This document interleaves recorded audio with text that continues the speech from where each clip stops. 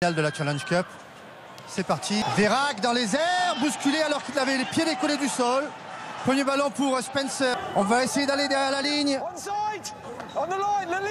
Ils sont, ils sont bons sur les pick and go. On essaie d'arracher ce ballon avec Béconnier.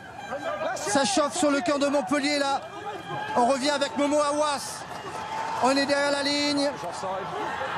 Mais le ballon n'est pas au contact du sol. Et c'est pour Monsieur Brace. Eh bien voilà. C'est pas Dunn, c'est Dunn qui marque cet essai.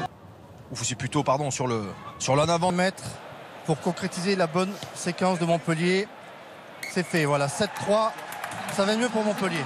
Payog, Payog, la passe au pied, Allez, le c'est bien fait. le rebond. C'est bien fait Intérieur. ça. Allez. Avec Camara, Camara pour le premier essai, Montpellier 1. Ah, Sur le petit joué. côté joué par Payog. Merveilleux, c'est Montpellier qui passe devant. Ah, superbe. Avec surtout l'intelligence de tenter un coup parce qu'on sait qu'on a l'avantage. C'est bien dosé, le rebond est parfait. Ratez est là, il a tout vu. Yakuba Kamara, troisième ligne.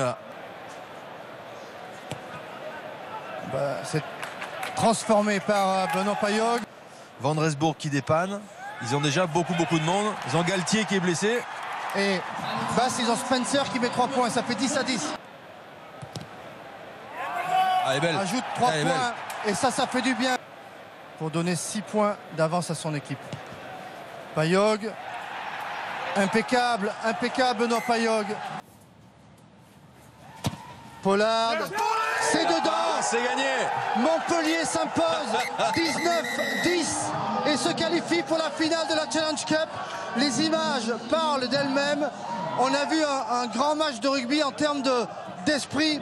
Ils, ont été absolument courageux, ils ont été rugby ce soir. Ils ont été rugby. Le rugby, c'est un sport de combat, évidemment. Et quand on a un cœur énorme, comme les Montpelliérains, et qu'on a envie de s'arracher les uns pour les autres, ça peut donner de, très très belles rencontres. Alors peut-être pas de grandes ondes volées, mais quel cœur, quelle détermination, quelle envie de s'arracher.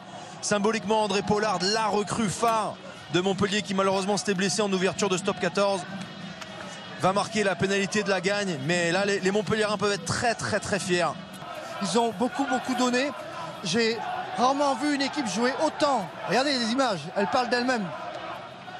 Ah, ça c'est le plaisir à l'état pur, un groupe qui s'arrache et ils ont envie de gagner.